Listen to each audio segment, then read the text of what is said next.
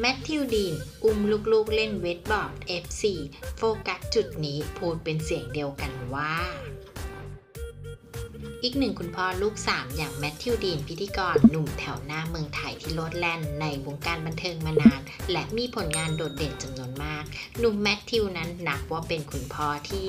ยังหล่อเป๊ะทั้งรูปร่างและหน้าตามากฝีมือในเรื่องของวงการบันเทิงและเก่งกีฬาในหลาย ๆ ด้าน ล่าสุดหนุ่มแมทธิวก็ได้พาลูกๆทั้งน้องดีแลนและน้องเดมี่ไปเล่นเวกบอร์ด ในขณะที่น้องดีแลนนั้นยืนข้างหน้าคุณพ่อ เมื่อถึงคิวน้องเดมี่เนี่ยคุณพ่อก็อุ้มน้องเดมี่ข้างหนึ่ง จับเชือกไว้ข้างหนึ่งทรงตัวบนเวกบอร์ดท่าสวยและก็แข็งแรงมากๆเลยล่ะค่ะ จนแฟนคลับเนี่ยอดที่จะชื่นชมความเก่งและความแข็งแรงของคุณพ่อไม่ได้จริง ๆ เลยล่ะค่ะ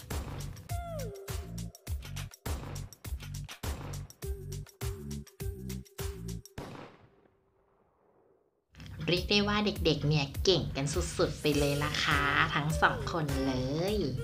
และเพื่อที่จะไม่พลาดคลิปใหม่ๆ อย่าลืมกดติดตามค่ะ